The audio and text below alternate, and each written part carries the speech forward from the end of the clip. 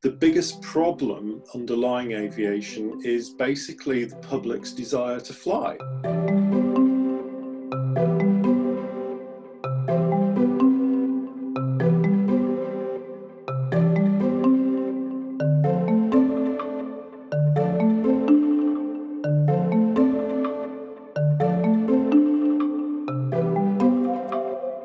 The problem with aviation is that it's highly dependent on liquid fossil fuel, kerosene, to power aircraft.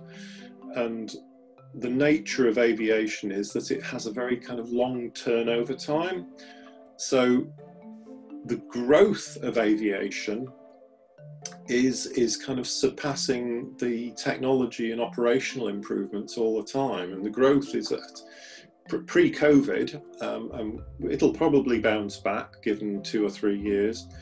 Um, historically, it's always bounced back, although this has been, you know, the biggest kind of intervention event that aviation has seen.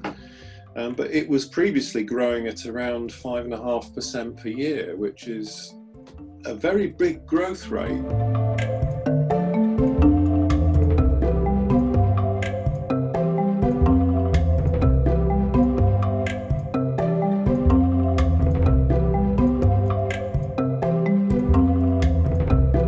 Scale up a synthetic manufacturing base that is carbon free would take time and investment. Um, but the biggest underlying problem is in order to do so, you, you have to incentivize that to happen, and that takes policy changes. As long as it's cheaper to keep digging oil out of the ground, it won't change.